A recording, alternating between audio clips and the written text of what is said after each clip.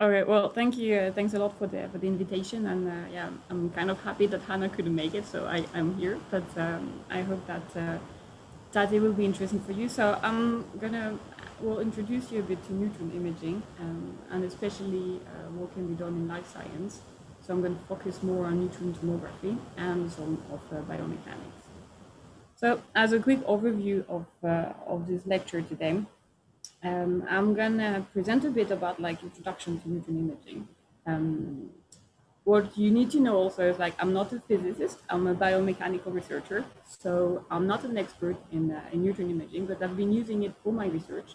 Um, so I've, I've come to know some details and to understand a bit how it works, and I, I think it's, um, it's a fascinating um, technique to look at uh, well structure and, and, composition and objects in general. Um, so then I will have a little quiz uh, if we have some time for you to interact.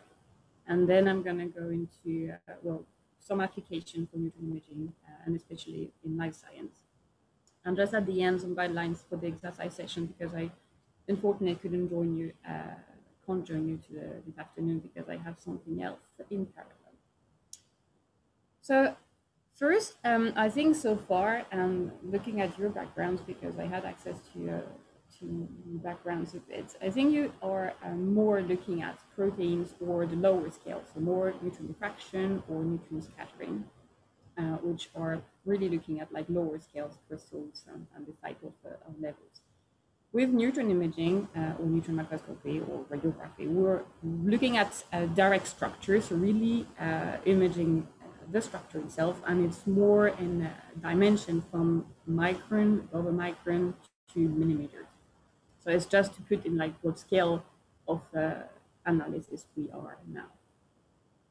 So what is imaging? Well, imaging is a visual representation of an object, and there are a lot of different imaging types that could exist. Photography is one, uh, cinematography is one with movement.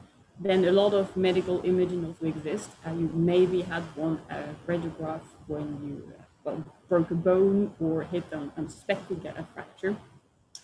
Molecular imaging is also one, acoustic and neutron imaging, the one we're going to talk about today. Imaging has been really uh, useful for the community, uh, scientific community and medical community. And here is a bit of uh, some list of Nobel Prizes that has been, have been um, related to, to, some of the imaging uh, breakthrough. Uh, with the discovery of X-rays in 1901, but again, um, then the computed tomography, which is the technique I've been using and I'm going to talk a bit about today. Um, then electron microscopy, also a breakthrough. Um, MRI, that has also uh, been a breakthrough in the 2000s and is really widely used nowadays in, um, in medicine and also in imaging uh, in the industrial uh, to image uh, semiconductor and, so yeah, imaging is really used a lot in science and it's been, I think, uh, more and more used, and uh, especially neutron uh, imaging.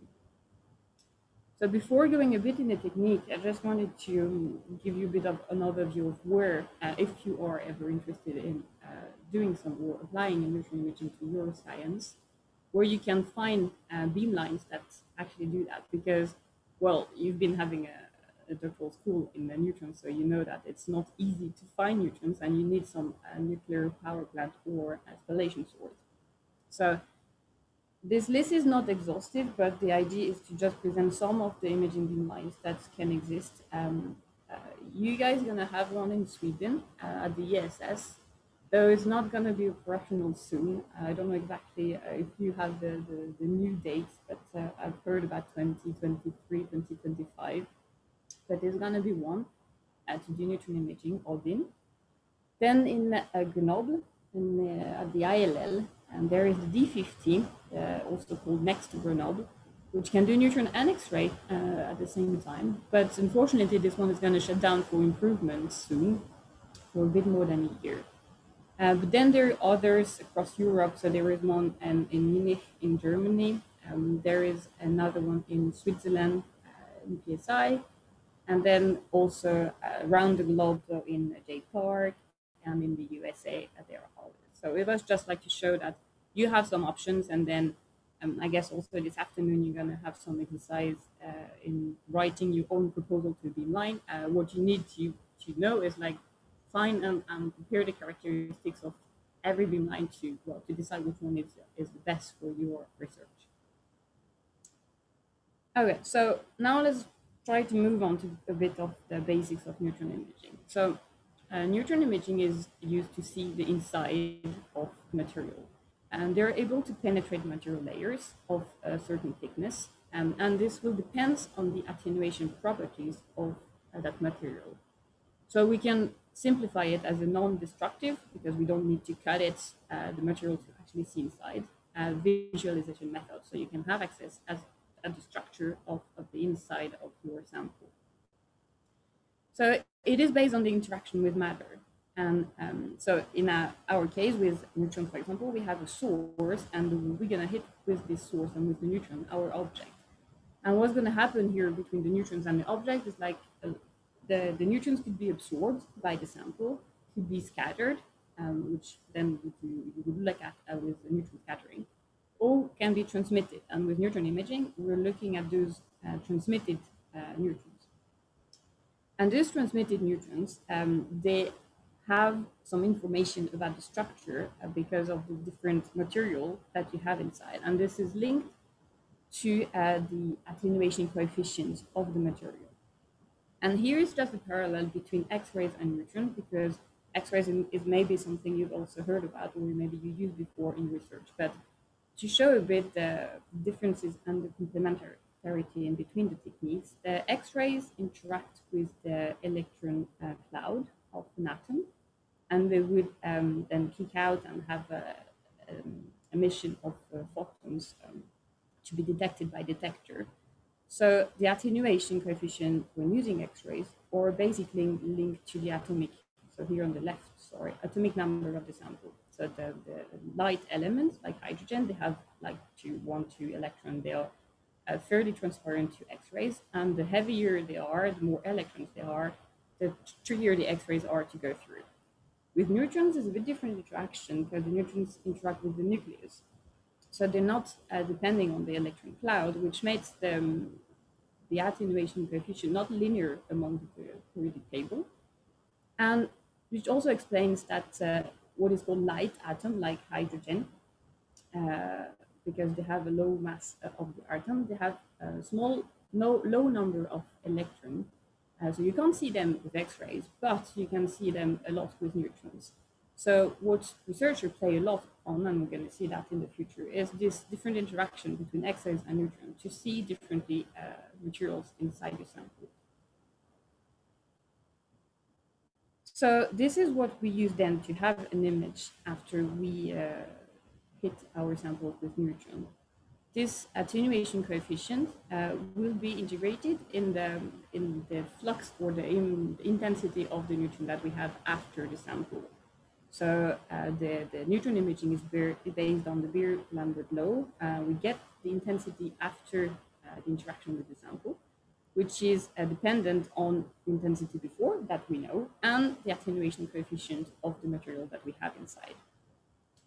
So then with this, we have some information coming out, but compared to X-rays where it's easy to just detect a photon with a conventional method, here you still have neutrons and you can't detect a neutron itself. So you need a secondary uh, interaction um, to generate usually with scintillators uh, photons out of the neutron that were uh, passed through the samples. And then you detect those uh, photons with conventional uh, detector system like a camera. So here, um, after this first pass, I think what you need to remember is that neutrons are um, highly absorbed by hydrogen, so they're uh, good candidates to be seen by neutrons, and they're fairly transparent to metal. And then compared to X-rays, you have different interaction and different attenuation coefficient, which makes the techniques complementary. And globally, uh, neutron imaging um, will give you less uh, flux, so less resolution of your image compared to X-rays. Uh, if you have any question, by the way, I, I, as I go, you just interrupt me or you keep them for the end, as, as you prefer. So here uh, now to go to start to go back to a bit life science, I'm gonna start to, to, to show you some examples of, of um, life uh, science applications. So um, in my research uh, specifically, I work in um, bone and also the interaction with implants, which are made of metals often, and bone. So here is an example to, to show what a radiography is. So radiography is a 2D image. So we have a sample. So here is a tibia of a rat with a metal implant in here. We uh, shoot neutron at it, and we have a 2D projection of our sample. So this, you can see, is, is an image in 2D. We have, it's, it's gonna be um, made of pixels that is gonna be linked to the resolution of our detector. And here the level, the gray level in each pixel of this image will be linked to the attenuation coefficient of our samples. And in our case here, it's average um, over the whole uh, thickness of our sample. But this is a 2D. And what we can do also is go through tomography, which is basically an advanced form of uh, radiography, where the sample is rotated as long as you take a radiograph. And with this, you have multiple projections, so multiple radiographs that you can then reconstruct into a 3D volume, which will then be made of voxels instead of pixels because they're 3D, but still containing uh, information in terms of gray level, uh, depending on how much the, the, the, material that was in the path of the neutron has been absorbing or not the, the neutrons. So once you have that, also an, another important step uh, in the process of, of, neutron imaging is the image analysis behind, because it's nice you have um, 3D, 3D uh, visualization of your samples, but then you need to extract some meaningful information out of. Um, and this would include uh, some filtering to get rid of noise if you have in your image, segmentation to isolate parts of the different tissues or parts of the sample that you want to look at and then quantification of different parameters. For example, here is shown some uh, region of interest that we've been looking at in this, uh, in this bone to quantify the, bone structure and the bone quantity, uh, and especially here you can see around the implant that, that, that we've been inserting. Um, there are different software that exists for that. Uh, in the exercise session this afternoon, I made you a tutorial to uh, start to use ImageJ or VT uh, which is commonly used as an open source um, software, commonly used by, uh, by the community. Um, then you, you learn a bit to interact with your with your images and see what you can get out of it. So that was the, the little quiz that I wanted to make you uh, now that we've um, gone through a bit of, of the basics here. And to have you brainstorm a bit about like, I'll give you three examples of um, uh, situation, scientific situation that we have, and then you could uh, think a bit about what technique would be more adapted, uh, neutron and or X-ray imaging based on what we discussed, and uh, some information here in the in the blue rectangle, which gives you some hints um, in the from what we discussed already. So first uh, example is you're in front of a lead tank which seems sealed, and you're a bit wondering, can I open it or not? So you have this, and you're a bit stuck. And then you also found a small suspect rock uh, in uh. So I've been asking a Swede about the famous uh, archaeological site, and she came with the name Yvonne. But if you don't know, um, it's like you were in some archaeological site, so you are suspecting that maybe it would be more than just a rock. And then you also have a scientific question about uh, can we play a good geological barrier for the disposal of radioactive waste? So um, then maybe you can just have like, uh, let you brainstorm uh, either, I mean, you can open your microphone or uh, you can just have, uh, I don't know if it's easy then to make some subrooms or we just uh, let them think by themselves. I mean, in two minutes, we just discuss uh, about options.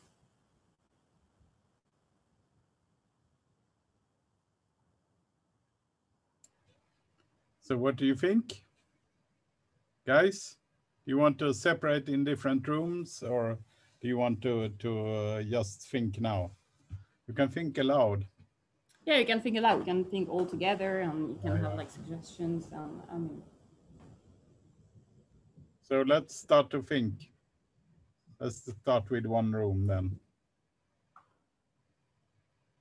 Any ideas? So for the first one, we would use uh, neutrons because I think like if you do X-rays, then you would not see through it. yeah, that's totally correct. So if we go to the first, indeed, you would use neutron to go through uh, the lead, because otherwise with X-rays you won't be, you will just have like a black image basically with X-rays. And now with this neutron, you can see through, and what you see is like, well, it seems to be a flower inside, and the flower you see it because it's a lot of hydrogen inside, so it's really absorbing the neutrons. And then you say, okay, then it looks safe to open the tank. I should not be intoxicated. Okay, what about the second uh, second example?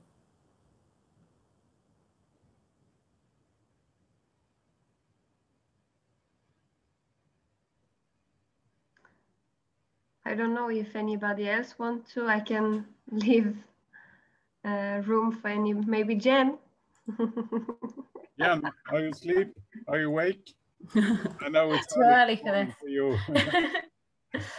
um, I, I mean, I, I guess I would guess neutrons. If you have a lot of high density elements in there, it might be quite hard to get. Uh, uh, well, if a, a rock that size, it'd be quite hard to get X-rays through anyway. Yeah, totally. So neutron for sure, uh, because you can get through the rock. But also there is like a little hit also in the title. It was called the small rock. So if it's small, it means that you can still still go through it with X-rays. And here you could combine because with the neutrons you would go through the rock, and then you could see some structure inside, like if the fossil was there, because it contains more hydrogen compared to the, the sediment that are around. Uh, but then the X-rays have a finer resolution in terms of, of the pixel size and, and what they can grasp. And here, for example, you could see, well, but be careful because it seems to be some cracks inside the sample that we couldn't really see because of the, the lower resolution of the neutrons. So with this information, then you can decide or not to work on exposing uh, the treasure that you found inside, but carefully because you know, well, if I hit here with my little instrument, I might just break my sample. So great. And what about the last one?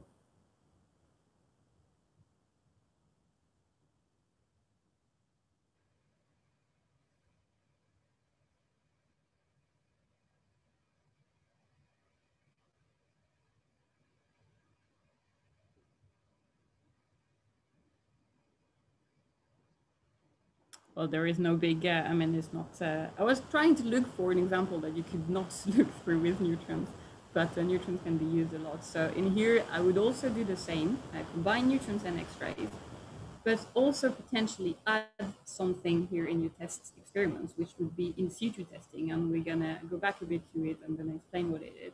It's not just imaging in the sense that you have a sample, you put it in the beam line, and you look at the structure. But here you want to change the sample to see how the structure would modify uh, if you would like, for example, compress it, or in this case, for example, what is important for uh, clay or whatever material that is around any radio uh, active uh, waste is to not be able to be porous and to have like water flux and then transport any uh, radioactive water into rivers or whatever. So here is an example of work that has been done um, by a team here in, uh, in Grenoble, I think, um, where they compressed a bit to, to fracture basically the clay, and then they put they push water through it to see how the water would flow, and they combine neutron X-rays also to gain on resolution and contrast. Um, and this is a way of better understanding the crack propagation in these materials, and to see if uh, you can prevent uh, any leaks into the picture. Okay, thanks for interacting. That was great. Okay, so now I'm going to move on a bit more, uh, well, application of neutron imaging, and uh, hopefully I can uh, give you some, uh, well, will to try out on your different projects if you have, uh, if you feel that it would be applicable. Um, here below, I also list some of reviews that uh, can be useful for you on neutron imaging in general, um, and some focus on life science. Um, but in this first slide, I just present some of the non-life science applications because neutron imaging is also used a lot, as we've seen before, in well, engineering and material science, geology, earth science, and also cultural heritage. So I'm gonna just show you some examples. So here, for example, is a battery um, that has been looked at with neutron radiography. And this is also an in situ testing in the sense that you see the evolution of the battery with time. So they've been charging the battery and then they let it discharge and then they see how uh, all the lithium inside will move. And it's a good candidate for neutrons because of the interaction um, between the, the passing through of the metal and the interaction with lithium. In geology, uh, as we've seen with, with clay and, and uh, before, um, they also use it a lot uh, because of the power of penetration through heavy materials. Um, the use of fluid flows that you can uh, see through because of water, for example, which has a lot of hydrogen, you can see the contrast pretty well, and then you can access porosity, cracks. And here is an example of concrete that has been imaged with both neutron and X-rays. And you can a bit see what different of contrast you could have. So if you have only an X-ray image, you barely see uh, the grains and matrix, and you can see pores. But then if you combine it with neutrons, you see well the differences in between the different rocks inside. And then you can also push some water and then see where the water will go and then highlight it in more pores. And another example in, in cultural heritage, for example, is also the use of, well, penetration to heavy material. Here is a, a copper statue, for example, and also the fact that it's non-destructive because as the fossil that we've seen before, we don't want to expose to see what is inside and to see what's happening. Um, in this case, they wanted to, to see if the statue was uh, corrosive, corroding, and where it was. So they, they used that, and then they could highlight parts and that can help in uh, better anticipation of the, the, preservation techniques or protect the statue. Um, it's also been used a lot in, in cultural heritage too as a non-damaging uh, destructive tool. Okay, so now let's try to move on to some example uh, in life science. So the first one is a bit go back to the brainstorming uh, example that has been showing is trying to understand if neutron imaging can be used to access bone structure embedded in fossils. So you have a bunch of rocks, you have suspicion that they would contain something, and you say, well, can I see through without uh, opening it and without uh, damaging the sample? So this has been used quite a lot because uh, those specimens are often opaque to X-rays, especially as you said before, if it's a big rock and you have a lot of sediment that or contain heavy materials so researchers have been using the penetration power uh, of neutron through this rock and through this embedding matrix to be able to see through and to distinguish what is inside. And then they also use the fact that neutron can go through the sediments, but they're going to be highly absorbed by the hydrogen contained into the fossilized bone. And then they can see the contrast between the bone that is inside and the matrix. Um, so then you can highlight different um, uh, structure. And uh, for example, some, some uh, research has been highlighting the vascularity in the bone and see that animals, some of the species could be blood-warm animals because they had like vascularity and, and, and vessels inside the bone. And they also use the sensitivity to isotope. So um, because uh, for the same, uh, for example, hydrogen uh, nucleus, which has half one proton. And isotope can contain different numbers of neutrons. Like hydrogen, it has one proton, uh, and deuterium, it has one proton and one neutron. So it means that they're going to interact differently uh, with the neutron beam. And then with that, we can highlight um, different parts. And I'm going to show you into the next example, which is more uh, clear. So another example now is botany. Um, and some researchers have wondered if neutron imaging can also be used to track the water replacement and transfer in the plant's roots or in the plant in, in general. And for that, they also use uh, some of the, the quality of the neutron that we've been discussing before, the penetration power uh, through the soil, so uh, through the rocks that can be in the soil, and the fact that I said before that the neutron can distinguish isotopes. So in this specific example, for example, they used uh, deuterium and uh, normal water. And what they did is like they soaked the plant in deuterium, which is uh, not poisonous for the plant. And then during the experiments, or at the beginning of the experiments, they inject uh, normal water inside uh, or the bottom of, of the, the soil and they see the water intake. And because uh, normal water has more um, nutrients, it's going to be more absorbent to the neutrons, and then you can see better contrast, or at least a different contrast in between these two, and then you can uh, see the propagation of the, of the water front. Um, so they combine this with this in situ testing to see the changes. So inject water and keep on doing the tomography to have an evolution of, the, of their system. And for that, they also had a requirement, which was to use some uh, fast imaging because uh, to see the water intake as it's a, a process, a continuous process, you can't just have like a tomography that would last an hour and then you want to take another one, but it would be the end of, of your test. So they did that in Grenoble in ILL, where they can do really fast scans for 1.5 seconds. So they keep on doing scans. They do one at T0, they inject water, and they repeat until they can come up with those nice images. I'm going to show you here. So we can see, uh, we don't see the, the soil because it's transparent to neutrons, so they, they, they could isolate it with the, some image analysis after they had the, the test on. And you can nicely see the roots. And here what you see in the bottom, in this uh, dark uh, gray or green, is the normal water uh, front that is getting uh, soaked and coming into the roots and into the soil.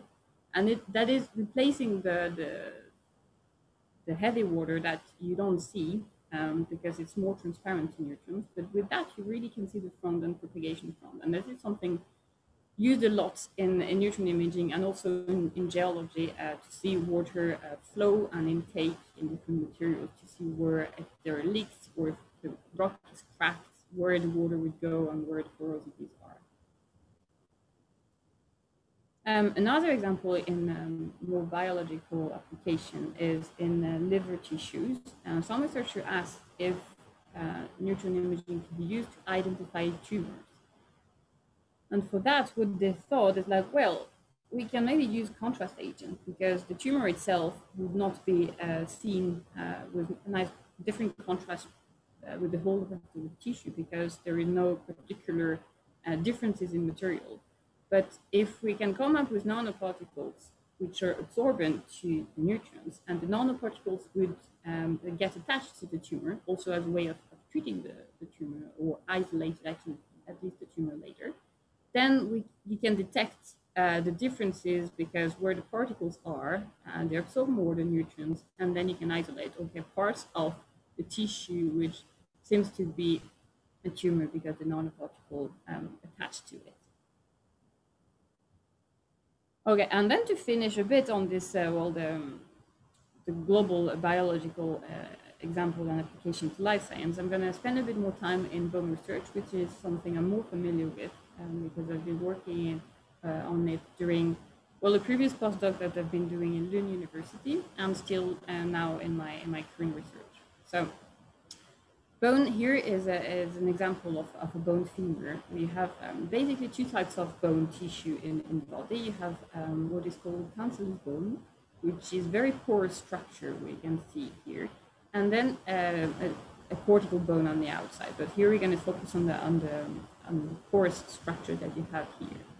So X-rays are often employed in bone research because uh, bone is made of uh, collagen and uh, mineral made of hydroxyapatite. And this mineral is highly absorbent to X-rays. The air uh, is not, so we have a good contrast between what is bone, mineralized tissue, and the rest. Plus the X-rays are usually fast and they give high resolution. So here is an example of a small plug that has been imaged in a synchrotron.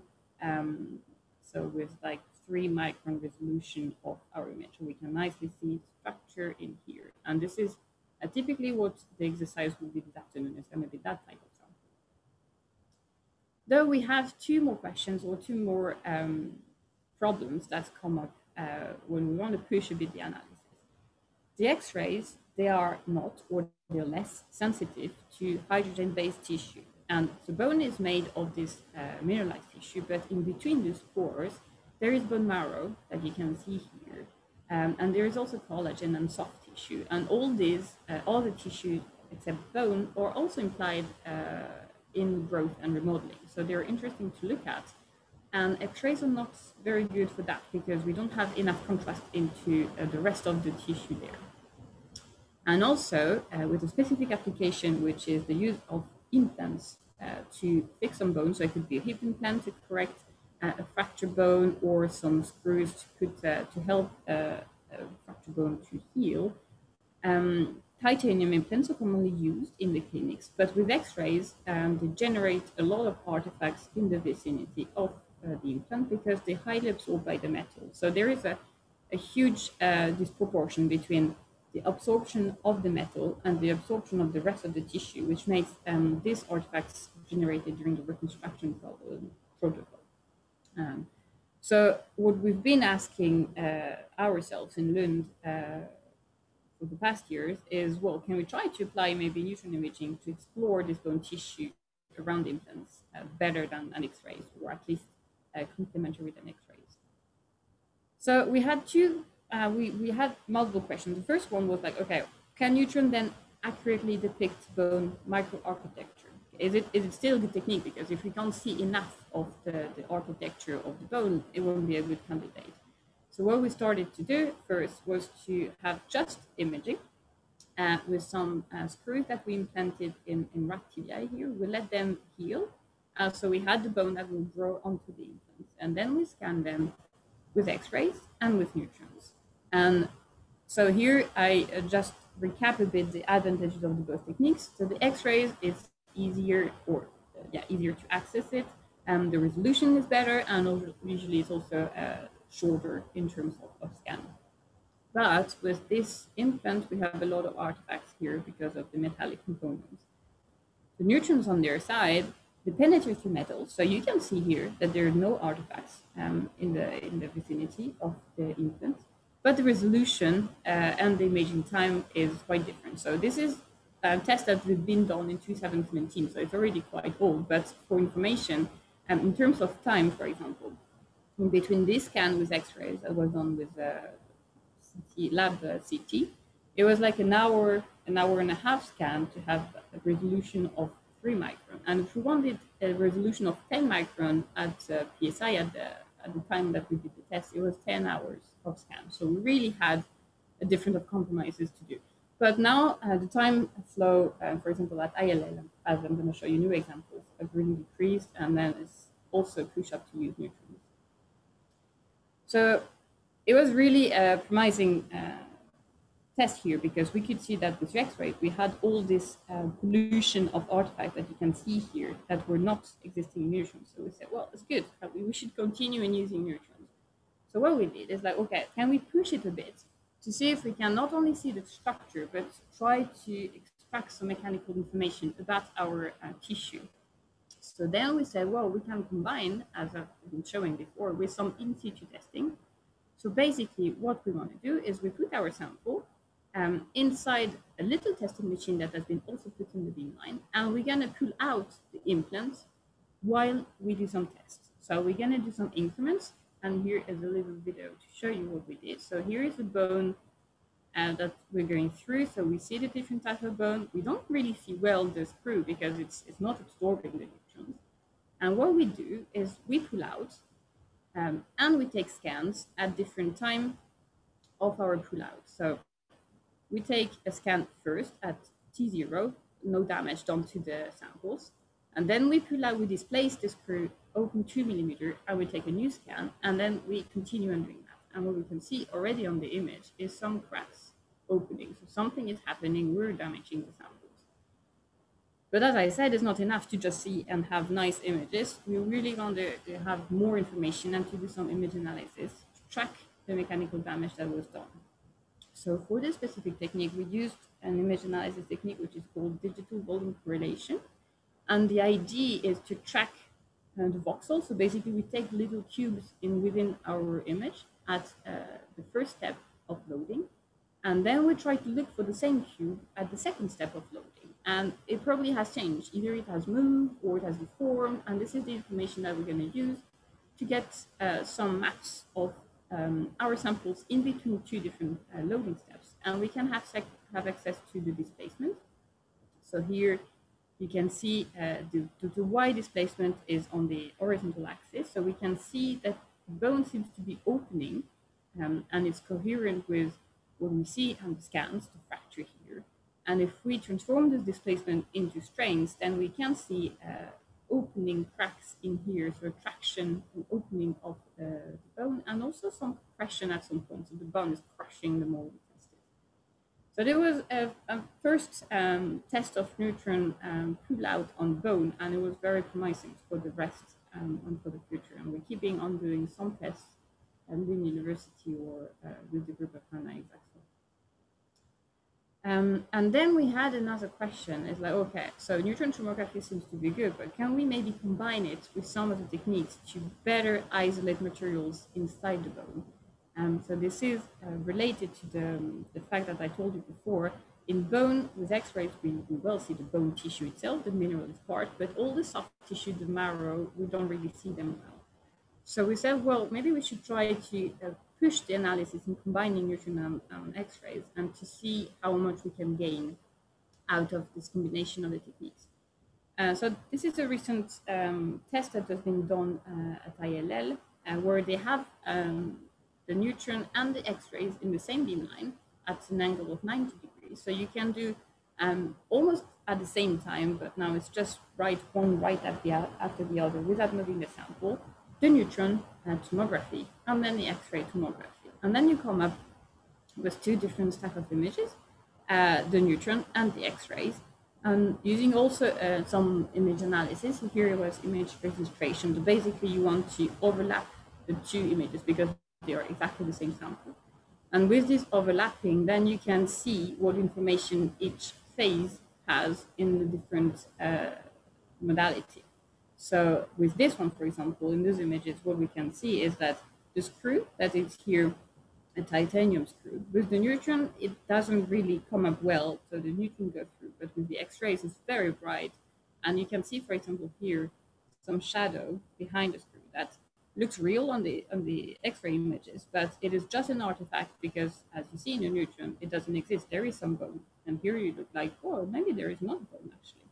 So this was something really interesting in terms of, of the implant. And then also we can see here in the neutron some uh, lighter gray part that we don't really see coming up in the x-rays. And these are soft tissues, so more fat and bone marrow that contains more hydrogen and they'll pick up better with the neutrons. And so we also pushed with another technique, histology, that maybe you're also more familiar with. Uh, here is a, a slightly different um, uh, implant model that we've been using. Uh, but it's the same principle. We still have a titanium implant and we're putting in contact with bone and we're trying to see where the bone uh, will grow and how will it grow. Um, and here we did neutron tomography compared to histology. And in this histology slice, we stained to get the mineral, mineralized bone. Um, and we had a really good fit between uh, those two images, meaning that every information that we saw in the histological size was also present in the neutron tomography. So neutron is good to see the bone. However, when we try to fit the other way around, so the neutrons onto the histology, then the fit was a bit less. And what we realized is because neutron uh, images had more information compared to histology, and especially they contained information about the soft tissue that we couldn't see with only the staining of the mineralized bone. And when we stain with another technique to highlight uh, soft tissues and more uh, fatty tissue, we could see this, this blue structure here appearing um, that were labeled as, as soft tissue that we're also seeing in the neutron. And in this study, we didn't do X-rays, but we could have done X-rays, and we wouldn't have been able to also see them in X-rays. So uh, neutron tomography is really good to see the bone and some soft tissue, and we're pushing through all of these techniques to try to understand better uh, what the soft tissues are for and how they could impact in the in bone growth and the modeling. Okay, so to finish, I'm just gonna try to recap a bit about the take-home messages of, of this. Uh, so some advantages of the neutron that we've seen is like it's a high penetration power. Um, it is good to see any hydrogen um, contained material and it's sensitive to isotopes. So if you have those in your material, it might be interesting in trying. It has also a low radiation damage. I haven't really talked about it, but compared to X-rays, which can really damage like plants, for example, right as you as you use it, also because the energy of the um, beams are different. Neutrons are non-destructive in that way, and you can at least uh, see the evolution of the plant without killing it immediately. And also, they're sensitive to magnetic moments, uh, but that I also haven't talked about it because I'm not uh, an expert on it, but it's also something you might uh, just want to know. Um, neutrons are often um, combined with other techniques, as I've shown you, um, mostly X-rays, because then researcher plays on the different interaction with matter. Then you have to think about the compromise between, uh, well, especially the spatial and the temporal resolution and the access of the techniques. In terms of application to life science, um, neutron imaging is used to see inside the samples in resolution from micron to millimeter uh, samples. In fossil, they can go through rocks. In plants, uh, they're used to track water intake. And in bone implants and bone research, it's sensitive to soft tissue and they avoid the generation of metal artifacts. And just to finish, um, if you're ever interested in, in applying neutron imaging, I think what you need to think and to brainstorm about is to know a bit about the composition and the structure of your samples because neutron imaging might not always be the answer. And here is an example of our earlier test that we've been doing on our samples. And when the, our bone specimens were too hydrated, well, we couldn't see any structure because basically it was no contrast. So you still need to think about sample preparation and the composition of, uh, of your samples. Okay, and then um, just some quick uh, guidelines about the exercises for this afternoon because as I said, I won't be able to join, but the idea is for you to uh, play around with the software uh, and to understand what image analysis can do or can be applied in, uh, well, in, for example, here is bone research. Um, and what I'm gonna uh, uh, give you is a bit of this uh, coarse cancellous bone extracted with from a femur. And you're going to have two plugs, one image, or it's the same plug actually, it's one image with neutron, one image with X-rays. And the idea is to play around with the different images, try to extract some videos like that, and try to compare and to see um, with your real eyes and playing around what I've been uh, showing you today, the different interaction and how uh, neutrons and X-rays can be complementary. I think you have access to the downloadable data in, in your uh, link, but I guess uh, you, you will know about that. So yeah, with all of this, I thank you for your attention uh, and your interaction during the little quiz. I hope um, it was clear enough. Um, and if you have any input or question or suggestion for the future, it was the first time I gave this lecture, uh, do not hesitate to give me some feedback. And with this, I thank you all, well, my colleagues, because this research is quite heavy. Uh, so I've been interacting with a lot, especially Lund University with the group of Hanna Isaksson, and also recently in France with the CNRS and a large facility in Europe. So uh, myself, I've been to Icon, Switzerland, and uh, more often to the D50 NeXT Grenoble in Miami. And uh, the people there have been great always to interact and to build up and to, well, um, advise you on, on your project. So yeah, uh, if you have any questions, I'm really happy to try to answer them.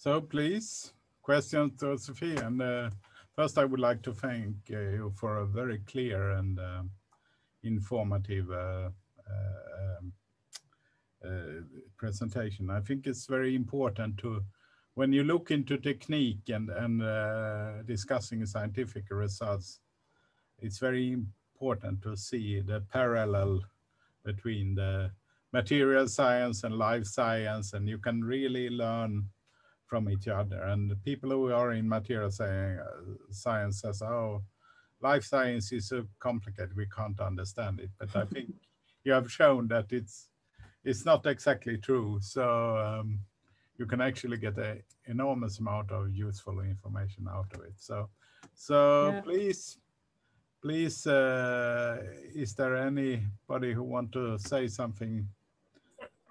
Uh, I have a question. Maybe I missed. Uh, um, the idea of uh, neutron imaging is also used for uh, NMR. Sorry, um, MRI, you mean, or no? yeah, yeah. Sorry. Well, it's, it's a it's a different technique. It's not the it's not the same because uh, MRI is magnetic resonance imaging, and it use uh, it's on the magnetic field of uh, you apply a magnetic field, and then you have your molecules that will shift and responds differently to this magnetic field. So you will see things, but it's not linked to neutrons. You don't use the same technique, um, but it's uh, it's a 3D visualization technique in the same sense, but it's not the same interaction with matter that you've been using if I answer correctly. Yeah. yeah. Okay. Thank you. I think you can say also what Tony said, uh, Tony was said uh, when he compared the nu uh, neutron and the scattering techniques with NMR. NMR is basically looking at distances that are very small and are using the, the changes in, in um, coupling between entities on these distances to produce an image. So in this case, we just, we look at it like we look at with light or uh, but we use neutrons instead. So we we we we create. That's how we create in um, the image. So so so the information you get is different, and in some cases very complementary. So so Yeah, exactly. It's yeah, it's it's an imaging technique. So you can image uh, the same sample with different techniques, and then you would see different things, and then you can play on this to understand better what is inside and how it is made of, um, structured. Yeah. Okay. Thank you for explanation. So so is there a, is there a, another question for Sophie?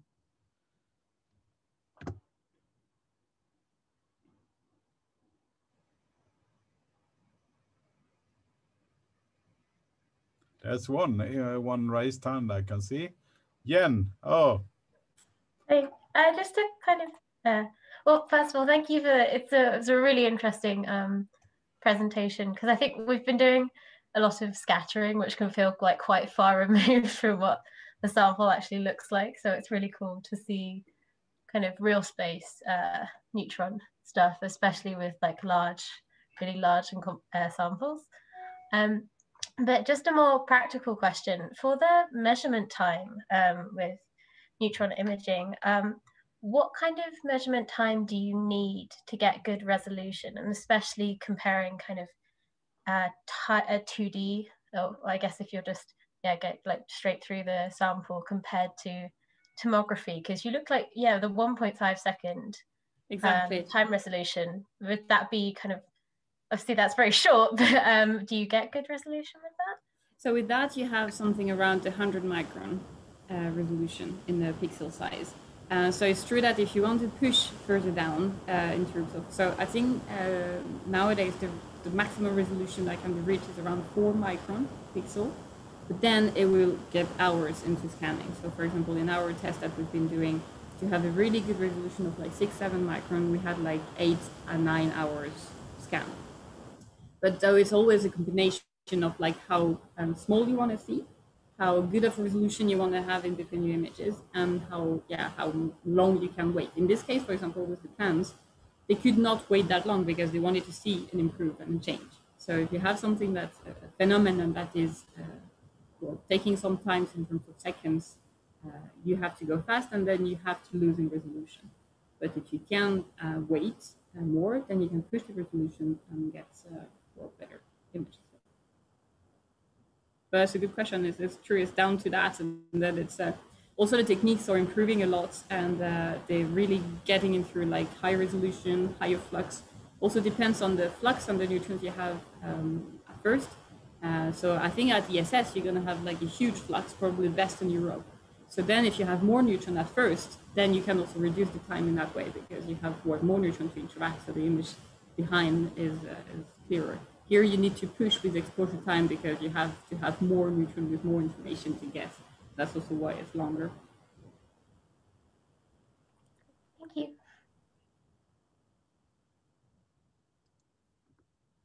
Some more comments for uh, for Sophie or some questions?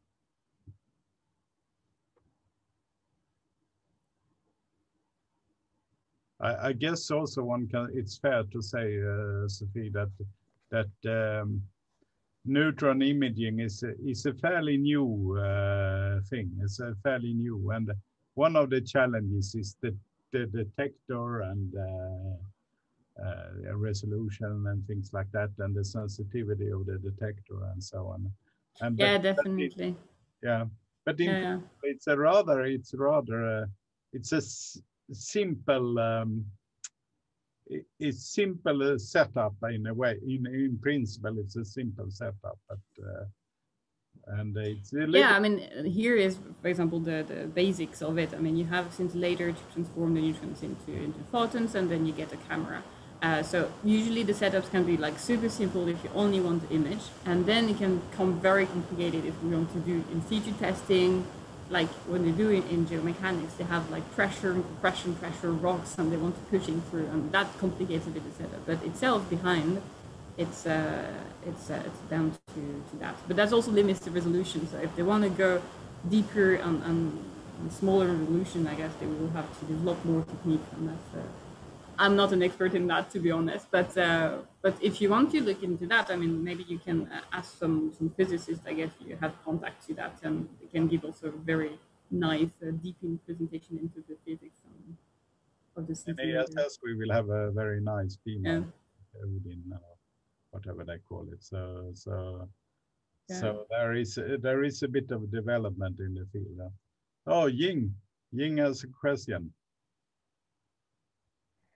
Yeah, um, I just want to ask a very basic question. The difference between the neutron imaging and neutron scattering. Um, neutron imaging is also a detection of intensity, and but it is like um, a shadow of the neutron light. Uh, no, the neutron beam.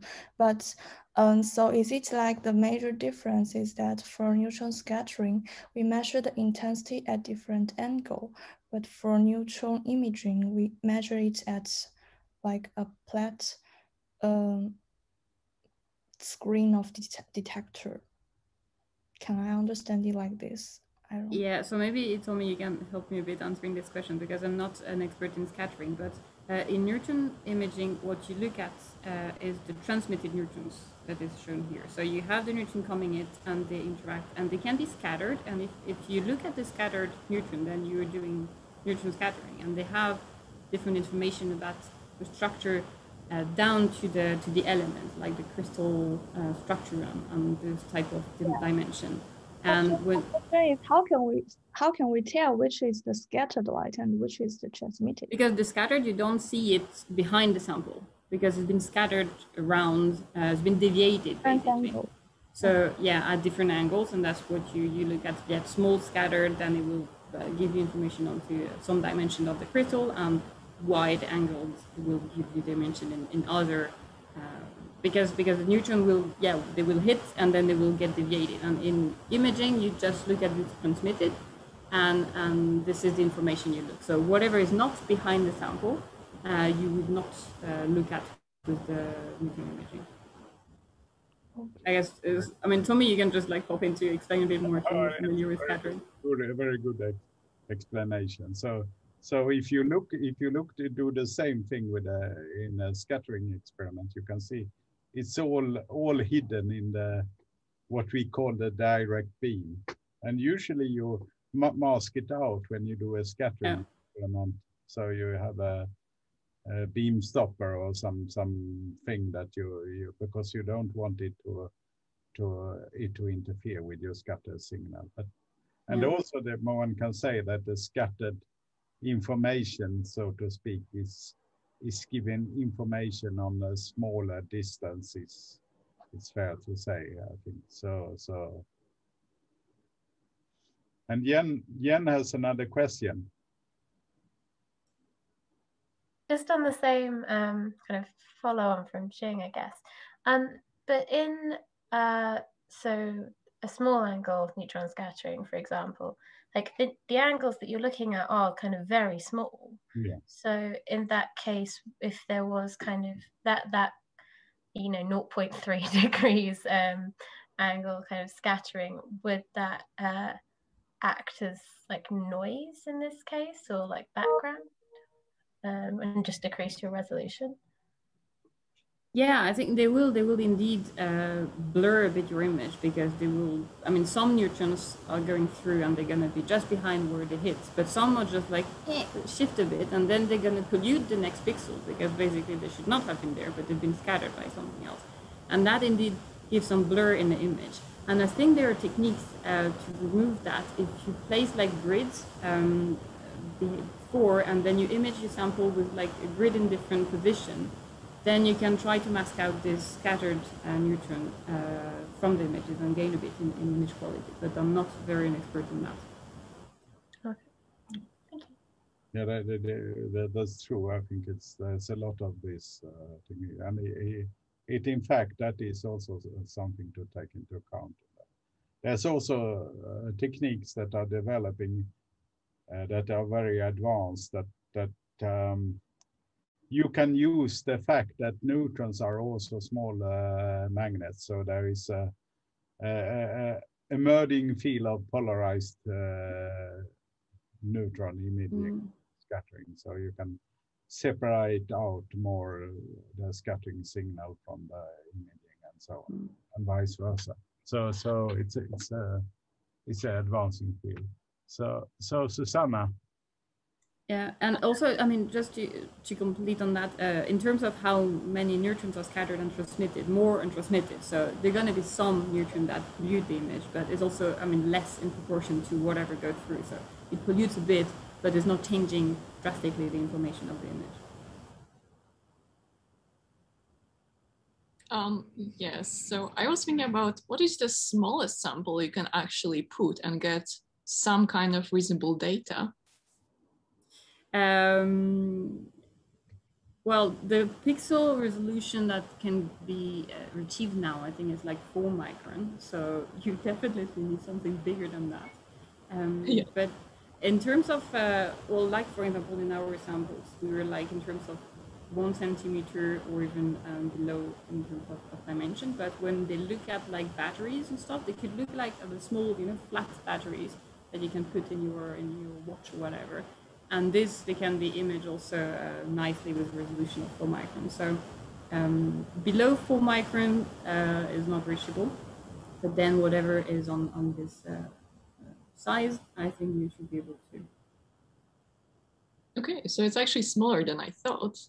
Yeah, it's getting smaller and smaller. It's true that, uh, well, as I said, when I when I reached, uh, I started to use it like a couple of years ago, 2017. The best resolution was like 15 or 20 micron. And now it's really shifting and you can really see uh, uh, better. It depends on the flux and it's, it's really increasing fast. What are you okay. working on? I, think you're mostly working on proteins and really down. Uh, and no, I was actually thinking about like putting insects. Yeah, definitely. I, I haven't shown it yet in this one because uh, I think for insects, for example, I think X-rays are still more used because um, you still can get very high resolution with X-rays. So if you run the steerily vessel, some details is still better.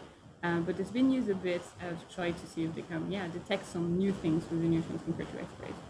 Um, but for, for insects, I would suggest to try X-rays and also maybe uh, phase contrast X-rays. Because uh, if you don't have enough absorption and uh, difference in absorption in, in your insect because everything looks the same to the x-rays.